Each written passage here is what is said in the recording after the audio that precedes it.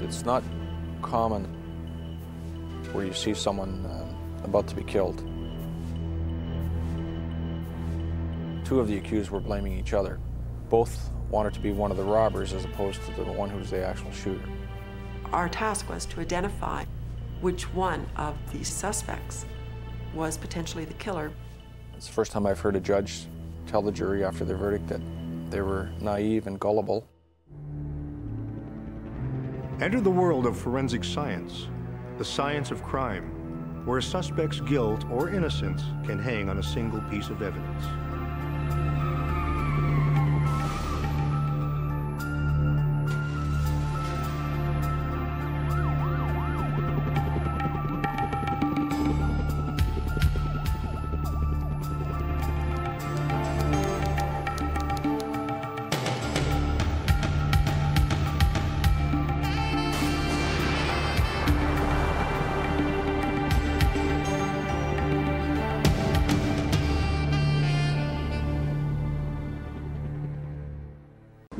Should die that way. I've never seen anything that horrific. One of the duties of a pathologist is to determine the cause of death. Watch on mobile devices or the big screen.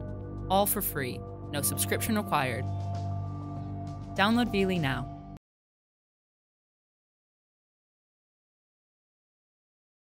Imagine you're an associate professor in the athletic department at a university, and one day you get a phone call from the police asking you to help solve a violent crime.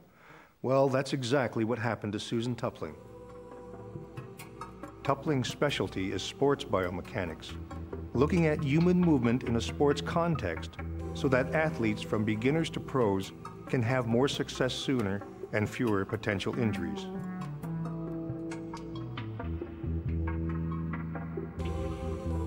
At the end of the 19th century, thanks to the development of a faster shutter speed, Edward Muybridge did a famous series of photographs. This was the birth of movies and the birth of biomechanics, because for the first time, human movement could be studied frame by frame. But none of this prepared Susan Tupling when out of the blue, the police called.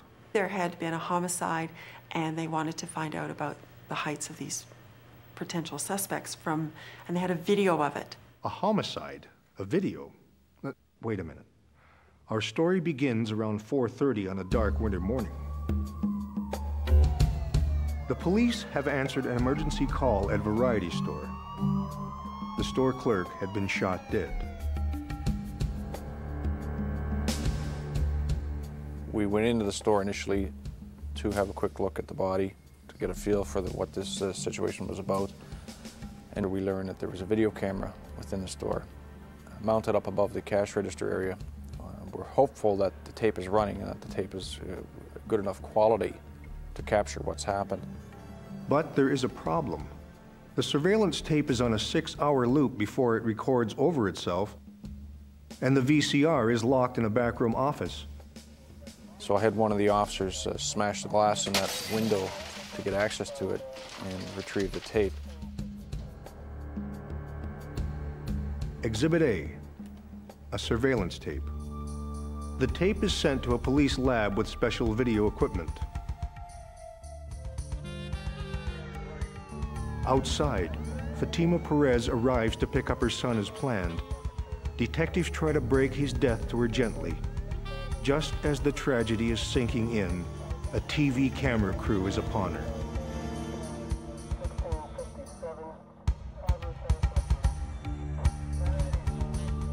Angel Perez, her son, was 27. Being a dutiful son, he still lived at home, helping to support his mother and siblings.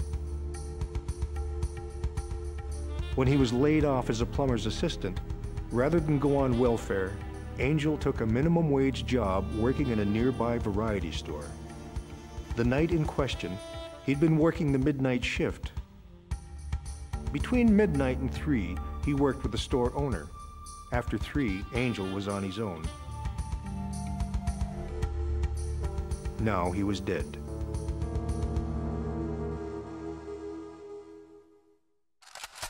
As with all homicides, Angel Perez's body is sent to the morgue to be autopsied. The pathologist will determine exactly how the store clerk died. The cause of death is attributable to a shotgun wound. The pellets were found mainly on the frontal portion of the skull and facial bones. A snowstorm of lead fragments is associated with the pellets within the head. And if we look at this next x-ray, there are a large number of pellets embedded in the left hand and wrist.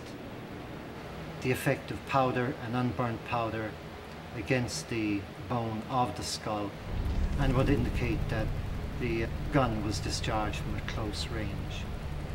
Th- That the individual's injuries are quite compatible with him lying on the ground with his left hand and wrist close to the side of his head, face down, in a non-offensive position.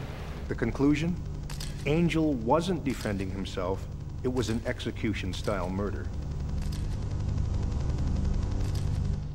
At the murder scene, forensic identification officers are particularly interested in a footprint on the store's Formica countertop. Normally, when we think of clues, we think of fingerprints. But in reality, footprints help solve more crimes. Taking footprint impressions is usually a straightforward procedure. Not this time. Somehow, in trying to transfer the footprint to tape, it vanishes. It's not in the tape and has disappeared from the Formica counter. This phenomenon is rare but not unheard of among footprint examiners. Meanwhile, police have viewed the surveillance video. The good news is that it shows the crime. The bad news is how grainy it is. the quality of video uh, that we receive from stores, banks, whatever, is, is very bad quality because these tapes are played over and over and over again, and sometimes they're not the best quality videotapes. I'm able to improve the brightness, the contrast. I can filter.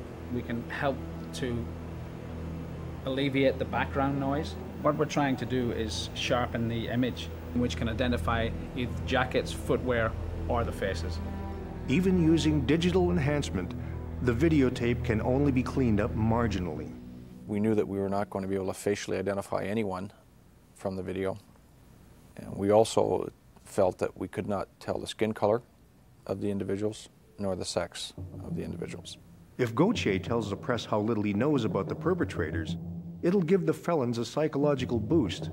But given the violent nature of the crime, the media is all over the police, clamoring for details. In the end, he decides to broadcast the video as a special bulletin.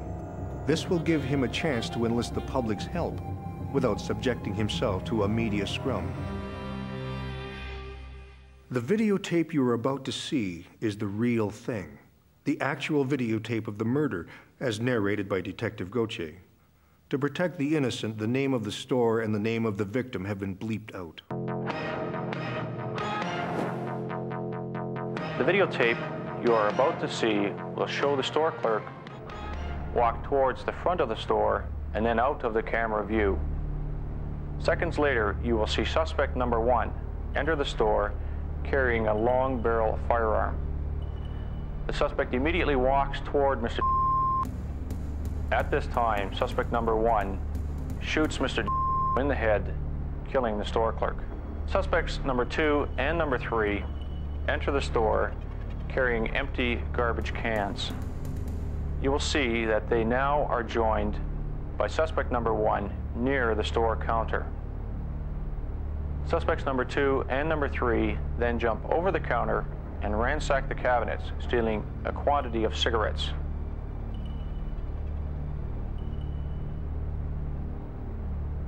Three suspects then leave the store via the same front door.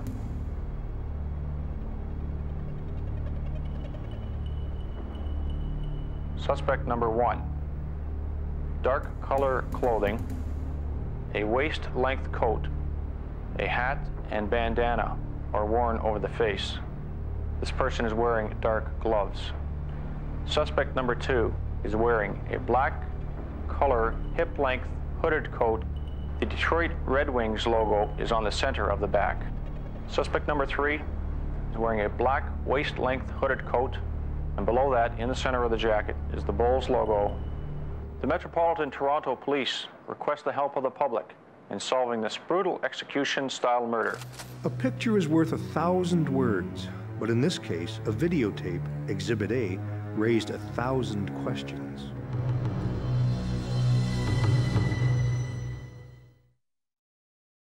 Though the videotape of the robbery murder couldn't immediately identify any of the suspects, Detective Gauthier knew it was crucial to the investigation. It's, it's not common that you see something like this where you see someone uh, about to be killed and you're watching the tape knowing that someone's about to be killed and you see them in, in real life and you know that in five seconds they're gone.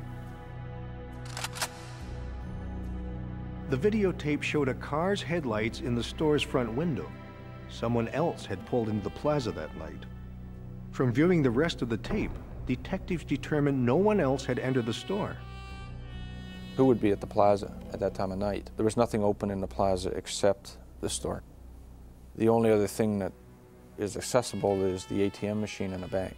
We contacted the bank to find out whether or not anybody had used that machine throughout the early morning hours. When we did find, in fact, an individual at about that time, when we spoke to him, he then related a story to us about what he had seen when he arrived at the plaza.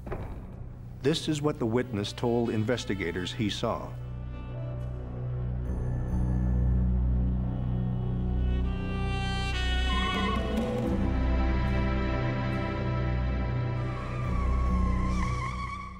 During his special bulletin, Detective Gauthier had also broadcast information about the red car. A police officer called homicide after seeing the TV broadcast to report he'd had the abandoned car towed to a pound. The car, it turned out, belonged to a woman named Andrea Goodwin. This seemed to fit nicely with a Crime Stoppers tip investigators received that the perpetrators in the murder robbery were two men and a woman. But under questioning, Andrea Goodwin claimed she knew nothing about any robbery. She said when she'd picked up her car, she'd found garbage cans, a gun, and cartons of cigarettes. Not knowing where they'd come from, they dumped the cigarettes and the garbage cans by the side of the road and tossed the gun into a dumpster. Investigators recovered the cigarettes and the garbage cans, but the gun was never recovered. Well, the shotgun had gone to the Pickering land site. Those are vast, vast properties. It's an impossible task to try and find something that size as a sawed-off shotgun in a vast expanse like that.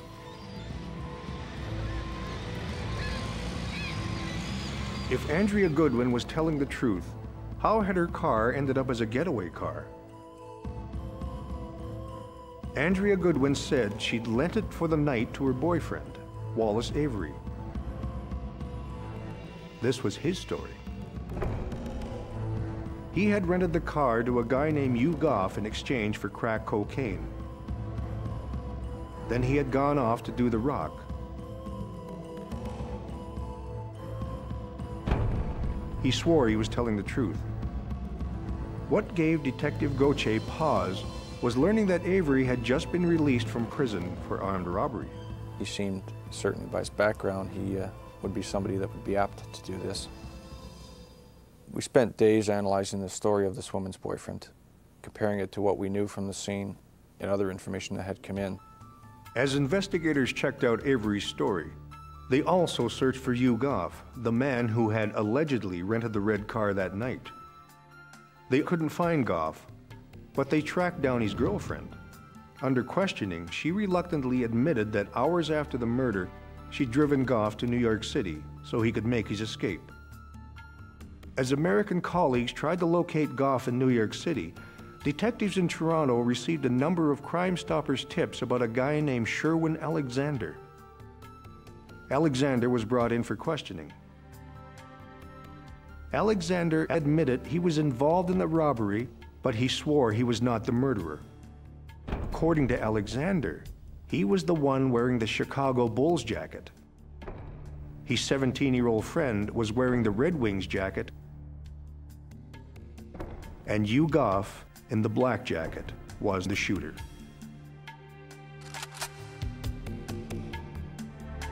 Case solved? Nah. According to Goff's girlfriend, on the drive to New York City, Goff had told her a totally different story. Goff admitted he was involved in the robbery, but swore that Sherwin Alexander was the one who shot the store clerk. In Goff's account, he also had the 17 year old in the Red Wings jacket. But Goff claimed he was the one wearing the Bulls jacket, and Alexander was the shooter in the black jacket. Two of the accused were blaming each other. They were admitting they were involved in, in the event, both wanted to be one of the robbers as opposed to the one who was the actual shooter. Who was telling the truth?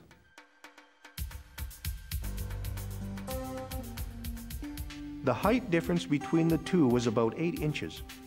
Could investigators use that difference to single out the shooter? Remember the footprint that disappeared? The investigators from Metro, they brought me the full counter.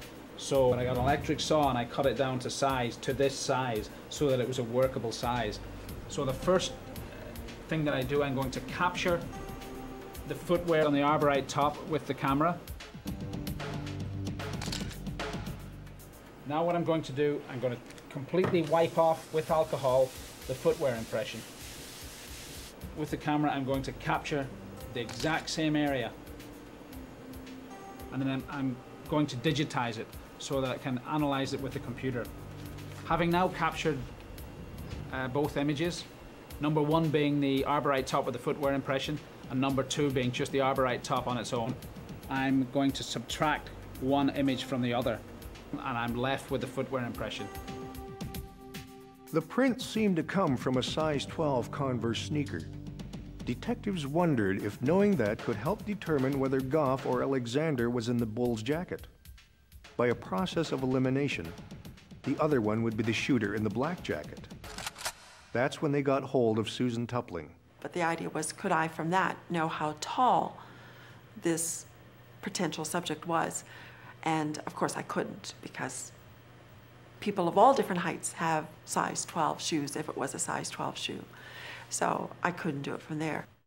Tupling used biomechanics to study human movement in the lab, but would it work to catch Angel Perez's killer? Who had been the shooter, Goff or Alexander? Detective Gauthier was relying on biomechanics to pinpoint the killer. Our main focus was to find the one with the gun. So the biomechanical was everything to us to establish that we had the right individual as being the trigger man. From the early days of Edward Muybridge's photos through contemporary biomechanics studies, the subjects were often in no clothes or tight-fitting clothes. That was perfect for Tupling's academic studies, but in the robbery murder, the suspects were in hoods and hats and bulky clothes. Then there was the camera angle. Lab studies were done at eye level. The angle from the store's surveillance camera from above foreshortened heights. Another problem, which image of the suspects should they try to measure? They were always running, uh, crouching down, reaching over to grab things off of shelves, and so they never stood perfectly still for us. And that's how you measure someone's height. They have to stand perfectly upright for you. And these suspects, um, as in most human movements, you just don't conform to that sort of situation. By examining the video frame by frame, Tupling found two locations where they could see a suspect's head and feet, and the suspect stood straight up. The idea is to, to find when he's standing vertical, he has to be on one leg or two legs standing straight up. And just before he jumps over, he is standing as vertical as he's going to be. That's about it right there. But if we could calibrate the volume that they were in, set up some sort of an X, Y, Z axis, a big grid within the whole store, then we could sort of use our three-dimensional techniques that we use within the lab all the time to make an estimate of how tall the different suspects were. Tupling's colleague had developed a technique using a calibrated frame and moving it around the store. When the numbers from the various X, Y, Z coordinates were crunched into the computer, It essentially turned the 2D image into a 3D determination of volume. From the volume, they hoped they could figure out the heights of the three suspects. Then the results were analyzed and double checked to ensure accuracy. We concluded there were three unique heights uh, with quite large differences between them. So between the shortest and the middle suspects, there was four inches difference. And between the middle and the tallest, we had six inches difference. In the video, the suspect with the black coat was the one who uh, carried the gun into the store and performed the shooting. And our data indicated that he was the shortest of the three suspects. So Alexander, the shortest guy, was the shooter in the black jacket. Based on all this, this is what investigators think happened on the night in question. After trading crack for the red car, Goff picked up Alexander and the 17-year-old and drove to the variety store. There they waited outside watching. The last customer left around a quarter after three. Alexander the gunman entered first.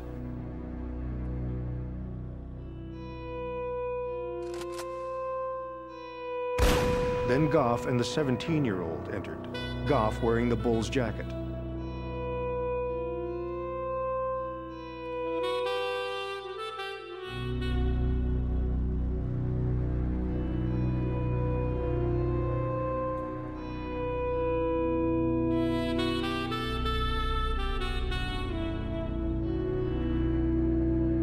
Goff and the 17-year-old were convicted of armed robbery.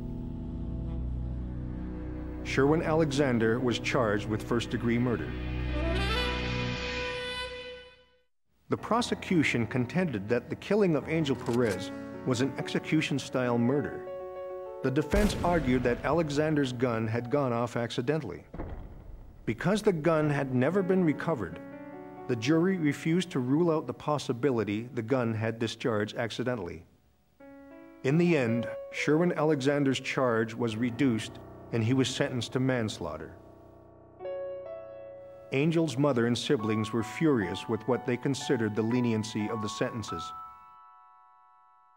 I can't explain why the jury came back with a manslaughter uh, on, on, to us, what was clearly an execution case. It's the first time I've heard a judge tell the jury after their verdict that they were naive and gullible, were his words. I don't think I thought of the human factor initially.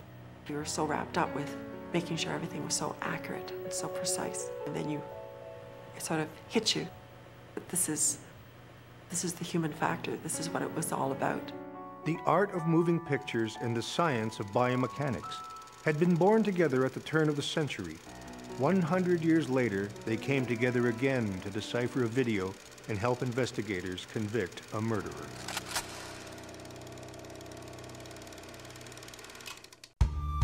Take a rich tycoon. He's one and only child. The tycoon's second wife. Add a $2 million will.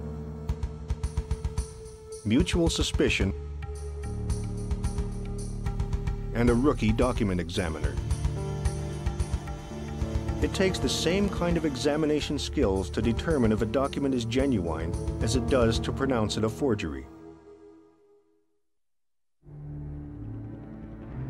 Enter the world of forensic science, the science of crime, where a suspect's guilt or innocence can hang on a single piece of evidence.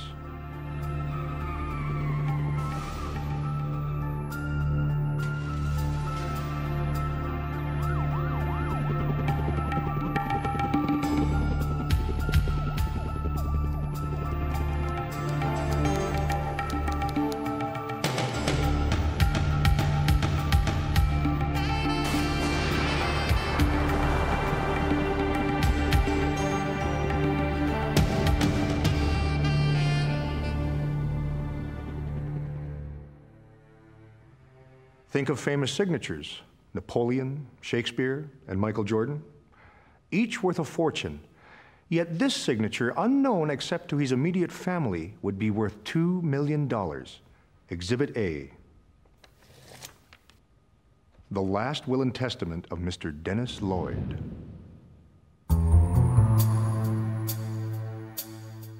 Dennis Lloyd was a self made man. Devoting himself to making money, by the time he was 60, he owned extensive real estate and a lucrative paper factory. In the town of Markham, Ontario, he was a rich fish in a medium-sized pond. But as a person, Dennis Lloyd was cold and distant. He rarely visited with his grown-up son, Barry, and Barry's family. And he could be curt and insensitive to his second wife, Carolyn.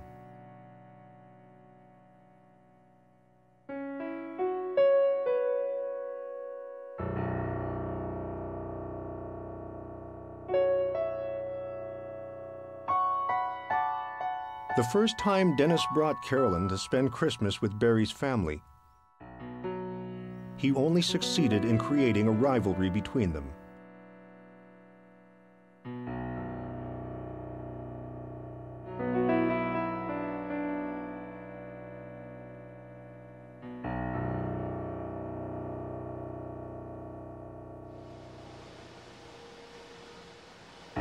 After that, Dennis's affection seemed to swing between Carolyn and Barry. One month favoring one, the next month the other. This was the situation when Dennis suffered a serious heart attack. He was rushed to the hospital. When his condition improved, he refused to think about death or talk about his will. Then three weeks later, he suddenly died of cardiac arrest. In their moment of grief, there was a temporary softening of their long-standing enmity. But a few weeks later, Carolyn and Barry were summoned by the estate's executor to a reading of Dennis's will. Dennis Lloyd's will left $20,000 annually to Carolyn, but the bulk of his $2 million estate went to Barry, his wife, and son. Carolyn was shocked. Barry, of course, was delighted, as much by the clear acknowledgement of his dad's love as by the money. Zachary Bloom, Carolyn's lawyer, examined the will. He was suspicious because the will was seven years old but a search for more recent will proved fruitless. Dennis Lloyd died in March. Despite Carolyn's dismay at the will, her sorrow was so profound that it took four months before she could enter Dennis's private bedroom. Finally, she asked her longtime gardener to help her pack her husband's effects.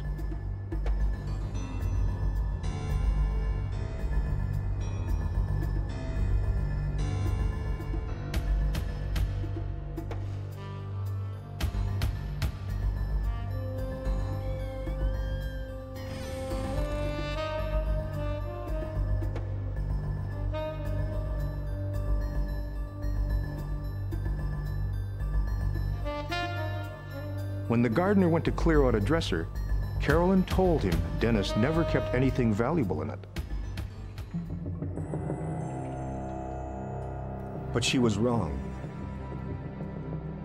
Hidden in a Bible was a new will. A will that would be the centerpiece of a huge legal battle. A winner-take-all battle between stepmother and son.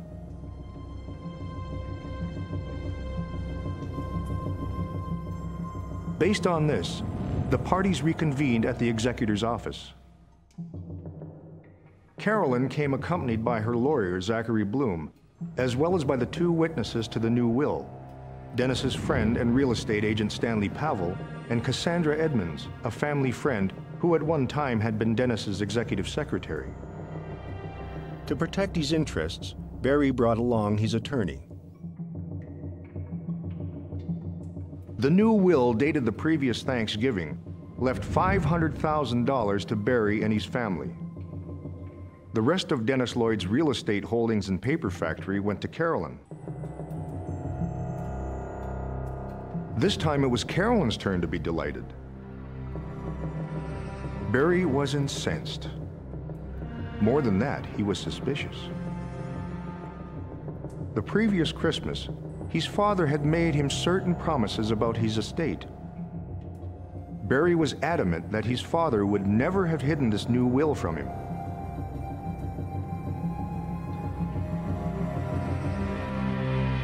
When people have suspicions about documents, there's a place to check them out. At the Center of Forensic Sciences, there's a whole section that examines documents. Using a variety of machines and techniques, document experts can investigate and analyze everything from ransom notes to checks made with invisible ink to questions of cheating on university exams. Uh, the student hadn't cheated, the professor was wrong. One of the main areas is document examination. Everything from watermarks and typeface to handwriting and signatures. Greg Dawson is the head of the document section, but at the time he was just a rookie. It was assigned to me because they thought it was fairly straightforward. It was a simple one page document, a little bit of typewriting on it, and one signature. Um, what could be so more simple than that. Uh, the just one word, D. Lloyd, was written. Um, combination of six letters. Six letters worth $2 million. So the resource was there for Barry to authenticate the will. One major problem. A clause at the bottom of the will that said, if any beneficiary should contest any of the bequests herein to him or her, then such person or persons is not to receive the said bequest. In other words, if Barry contested the will and lost, he would lose everything.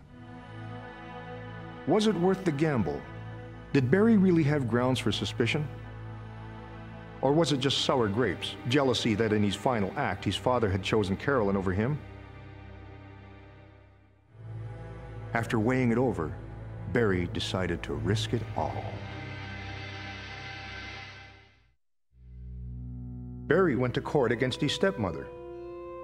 Two million dollars, winner take all. The issue whether Dennis Lloyd's new will was genuine or a forgery. If it was a forgery, Barry would get it all. If it was genuine, Carolyn would keep it all. It was to be a civil trial decided by a judge. Given that a deceased cannot testify, an exception is made in cases concerning wills allowing both sides to give hearsay evidence. Barry Lloyd took the stand. The heart of his case was a promise his father had made him the previous Christmas. While Carolyn was off in Italy, his father spent the holidays with Barry's family. Dennis told Barry about having spent his whole life worrying about money. Now he was concerned what would happen to it when he died. Dennis confided to his son that he planned to leave Carolyn $20,000 annually, but he wanted his paper factory and the rest of his $2 million estate to go to his flesh and blood.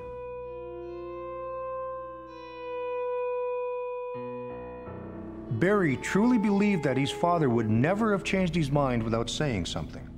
Plus, there were a lot of strange circumstances surrounding this latest will.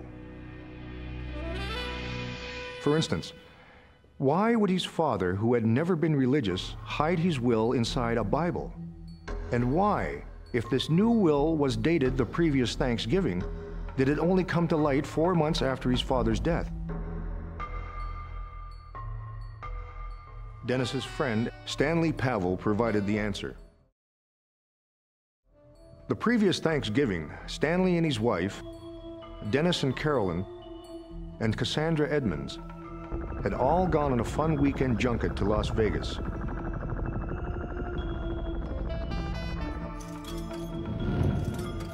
Though Dennis didn't gamble, he loved to watch Stanley gamble. On that Saturday night, Dennis suddenly whispered he wanted Stanley to come up to his hotel suite right away.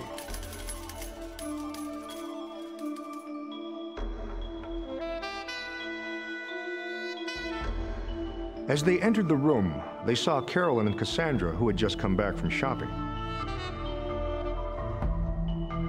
On the pretense they had to catch an early dinner and show, Dennis urged Carolyn to get ready as quickly as possible.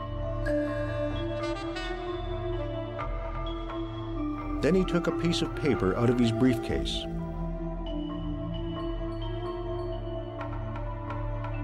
It was his will, and he wanted them to witness it.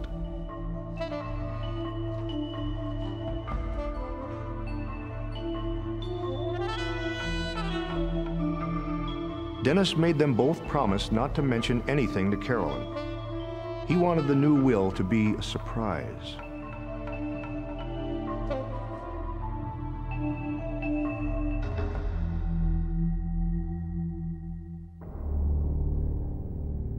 That was why Carolyn hadn't known about the new will until after Dennis Lloyd's death, when it fell out of the Bible.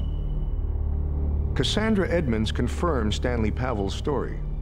She testified that as Dennis's secretary, she had heard him criticize Barry for thinking money grew on trees, adding that Barry would be in for a big surprise if he thought he was going to inherit the old man's money. It all made sense, more than Barry Lloyd wanted to admit. But Barry wasn't about to give up. He was suspicious about certain spelling mistakes in the will. For instance, the city of Markham, M A R K H A M, the only city Dennis Lloyd had lived in since coming over from England, was misspelled. More inexplicable, his father's last name, Lloyd, L L O Y D, was misspelled in the very first line. Dennis was a meticulous man, so why would he have left these mistakes in? Zachary Bloom testified that he and his wife had also gone to Las Vegas Thanksgiving weekend and that he had accidentally run into Dennis Lloyd. Dennis didn't trust most lawyers, but he trusted Bloom. He insisted Bloom accompany him to a local notary public. He wanted to prepare a new will. Bloom told the court the Las Vegas Notary Public was neither the most meticulous nor smartest man. This was the first time he'd ever met Dennis Lloyd, and he'd never even heard of Markham, Ontario, hence the spelling errors. Barry found this more plausible than he cared to admit, but he wasn't ready to give up. It was now time to hear about the examination of the will itself. Dawson first checked the will to make sure nothing had been added or erased, it hadn't. Then he checked the watermark on the paper. If you hold up good paper to the light, you'll see a watermark, which is how paper is registered. Wills are usually prepared on good paper. The question was, is it registered or not? If it is, then it'll give us a date at which that watermark first came on the market. And if the will is dated 1978, for example, or 77, and I find that watermark never came on the market until 1980, we know right away this has been a backdated document. The watermark was called Old Liverpool Bond. Checking the standard reference book, Dawson discovered it was not registered. This neither ruled the paper in nor out. Next, Dawson checked the typeface to see if it could be traced back to a particular typewriter the typeface again was very unusual. Um, we still haven't ever seen a typeface such as this. Um, the, all of the lowercase letters in, in this will were in script style. That is, it, it kind of looks like it's connected. It looks like it's um, very rounded handwriting where each letter touches the next letter. Um, except for the capital letters. All capital letters were in a monotone style. Even to this day, Dawson has never seen another typeface like it. The uniqueness of both the watermark and the typeface could be argued for or against authenticity. It would now come down to one thing and one thing only whether the signature was real or a forgery. Two million dollars was riding on it. This is one of Dennis Lloyd's known signatures. This is the one on the will. Were they the same? What do you think? $2 million, winner take all. It was now time for Greg Dawson's moment in the sun. Would he conclude the new will was genuine or a forgery? The judge added that if it was a forgery, then someone had committed a criminal act. There was no in between. Handwriting is actually more brain writing. It involves the subconscious. Your mind tells your hand what to write, but one seldom actually thinks, how do I make these characters? These hand movements are ingrained in us when we're quite young. Take an average classroom. Kids start to learn how to write trying to model the handwriting above the blackboard. But even after a very short time, when a teacher collects a class's papers, she can probably identify each student's without looking at the name, because they've already begun to place their individual trademarks on their handwriting, a combination of artistic ability and physical ability that makes it uniquely theirs. By the time we've graduated high school, our handwriting is basically set. The nuts and bolts of what Greg Dawson does as a document examiner involves the careful study of one set of writings compared to another set and looking at the minutiae in order to determine whether or not they were written by the same person. The first thing I do is to begin uh, examining the signature under the microscope, and while I'm looking at it under the microscope, I'm drawing what I'm seeing. So I get uh, a fairly intimate knowledge of the signature, and by looking at it under the microscope and drawing it myself, it's a, a working habit that forces me to concentrate and, and, and focus on the, the details of the writing. Greg Dawson carefully compared the signatures. The question signature starts here, uh, and it begins here with a blunt beginning stroke, and it comes straight down across here, up, then down, and then it terminates out here. Right? In the known signature, you see it gets an upstroke here, across here, here, here, down, and then over this way and much more quickly done. See the same movement in here, cross, up, around, and then across here. And it ends with kind of a tapering stroke. This one ends with quite an abrupt stroke there. Again, in here, it starts again here with another blunt beginning stroke and then comes up. The pen is lifted right here.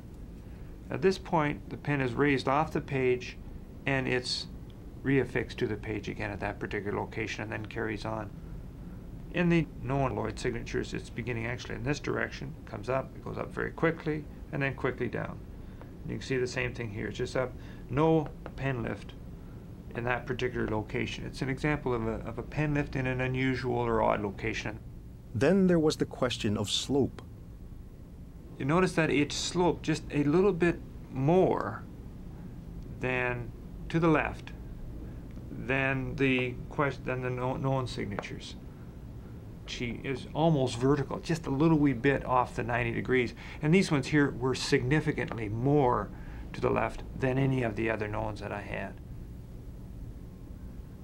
One other feature was intriguing. Uh, its location above the line. You notice that this signature is written quite a bit above the line.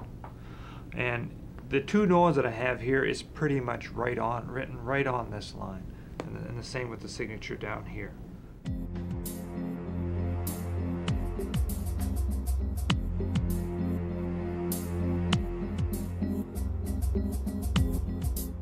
Based on these factors, Greg Dawson was ready to render his decision.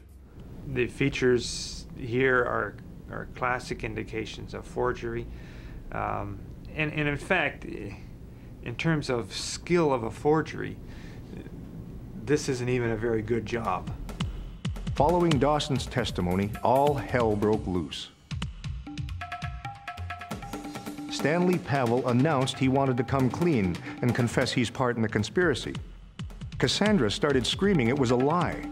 Zachary Bloom tried to calm everyone. Carolyn fainted. All four were charged with conspiracy to commit fraud.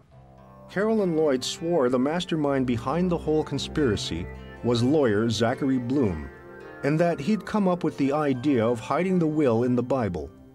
For her cooperation, Bloom offered her a million dollars, the family home, and a new car every two years. Stanley Pavel said he was offered $50,000, and since he was a real estate agent, Bloom promised him the commission from the sale of Dennis Lloyd's businesses. As for Bloom and Cassandra, investigators discovered they were lovers. They owned a small money-losing golf course together, and Bloom personally owed almost $200,000 to his law partners. If the will had gone through, they would have gotten Dennis Lloyd's paper business, which they planned to sell to pay off their debts. There was some uh, suggestion that this will was drafted in Detroit and that they had had a, an expert forge the signature. If they did have an expert forger, um, they didn't get their money's worth, that's for sure. The upshot of all this? Carolyn was sentenced to one day in prison and a year's probation. Stanley Pavel received the same sentence plus three months for perjury. Cassandra Edmonds was sentenced to three years in prison, but because of medical reasons never served time. And lawyer Zachary Bloom was disbarred and sentenced to four, four, four, four years in prison. After all these years, this, this case is probably the most memorable one that I've had. And It brought the whole excitement of forensic document examiner right to the fore for me. That case solidified my interest in this discipline, and I knew after doing that one, I'd never leave this work. As for Barry Lloyd, by contesting the will, he thwarted a greedy scam and inherited his father's estate. He finally got a chance to bask in the knowledge that his father had truly loved him.